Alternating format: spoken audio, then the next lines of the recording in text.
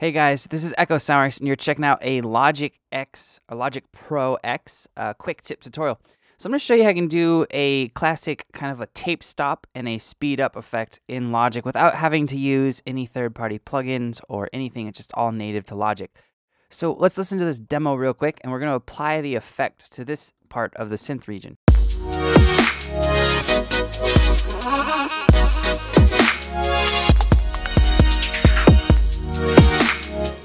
All right, so to do this, you have to be working with audio. So this is MIDI, so I'm to bounce this to audio real quick.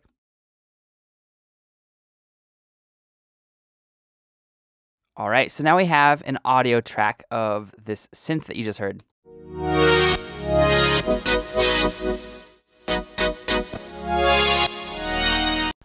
Okay, and if you're curious or want to know how to make that synth, I did do a tutorial on that a little while ago. It is a uh, future bass massive synth, but just as a side note. So what we're going to do is we're going to apply a tape stop and speed up effect to this section or a, a part of the audio. All right, so what we're going to do here is I'm going to hit, I need to cut up the audio. So you cannot do this with MIDI.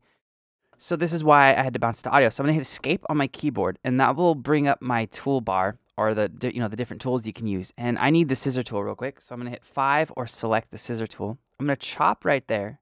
Actually, let's chop, let's chop right here.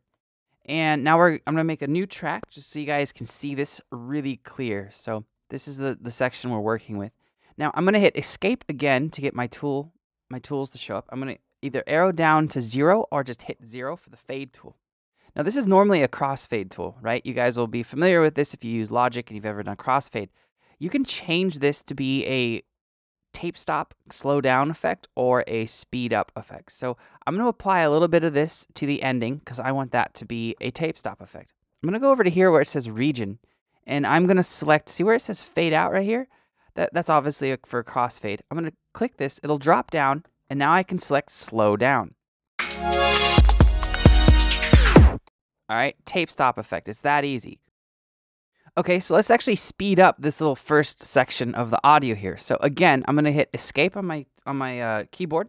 And I'm gonna select the crossfade tool, so which is that's zero again.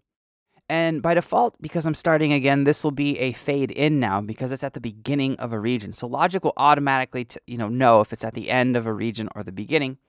So what we're gonna do now is we're gonna go over to the same section that we select slow down in, and we're gonna go to the fade in, drop down, and select speed up. It will again turn orange, indicating that it is now not a crossfade or a fade.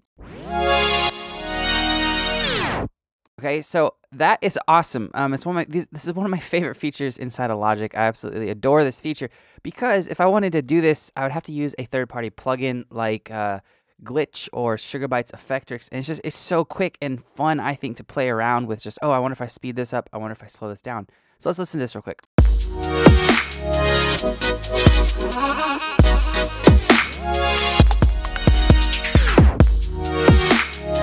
All right, so sounds cool. It gives some new life to the end of that synth region. So yeah, it's really easy to do, guys. Just uh, use your crossfade tool, go over and select either fade, fade, from fade out or fade in, select slow down or speed up. Like I said at the beginning of the tutorial, I'm Echo Soundworks. Thank you so much for watching. If you have any questions or comments, post them below and I'll get back to you as soon as I can. I'll see you next time, guys.